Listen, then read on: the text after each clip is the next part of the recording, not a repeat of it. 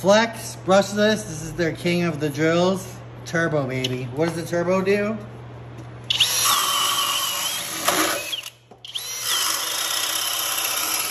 Look at that, through a knot.